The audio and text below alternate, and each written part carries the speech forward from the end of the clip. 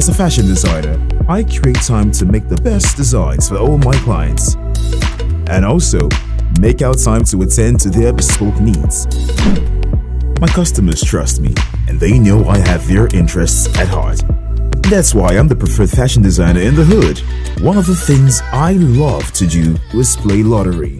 And just like my clients have absolute trust in me that I want the best for them, so also do I trust the process of lottery because the National Lottery Regulatory Commission plays the role of making lottery safe for all.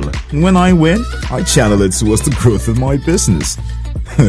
I also have a great time with friends.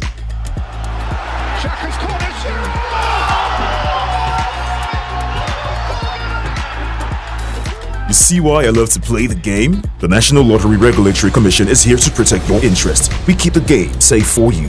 National Lottery Regulatory Commission. Lottery the right way. Game responsibly.